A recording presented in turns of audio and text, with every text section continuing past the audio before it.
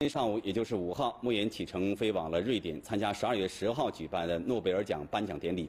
有关莫言此行的行程安排、演讲内容等话题，莫言走前呢接受了本台记者的独家专访。我们来听一听。莫言告诉记者，抵达瑞典后，首先他将在瑞典皇家学院进行四十五分钟的演讲。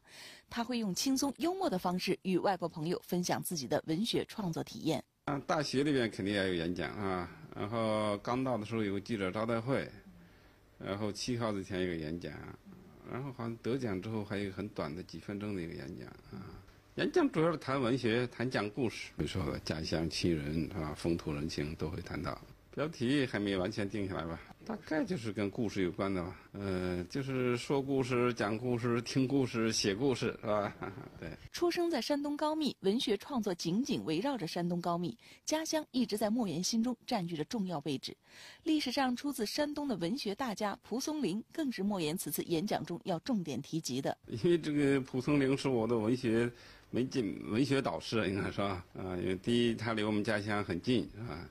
第二，我从小就听着这个很多跟蒲松龄的故事非常类似的民间故事长大，长大后又认真的读了他的书，从他的这种作品里面感觉到受了很大的很多的教益，是吧？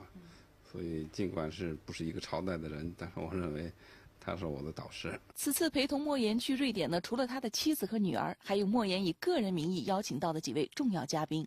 我有权利邀请大概十几个客人。参加这个典礼，邀请了一些这个翻译了我的作品，当然也翻译了其他的中国作家的作品，就是对中翻译中国当代文学做出了很大贡献的一些翻译家。比如说像这个美国的葛浩文先生，日本的吉田夫妇教授，是吧？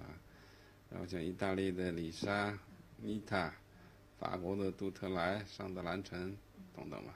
他们应该从各自的国家走吧，是我来邀请啊。我觉得他们这个确实是立下了很很大的功劳而且我想中国文学今后要更多的被翻译出去，被更多的这种读者所了解，要这个跟更多的各个国家的翻译家广交朋友啊。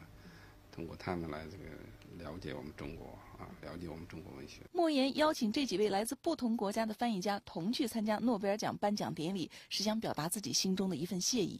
而对于此前在网络上备受关注的莫言将穿什么服装参加典礼的话题，莫言也以一贯的淡定给出了自己的答案。服装嘛，它实际上是这个全人类共同的财富，是吧？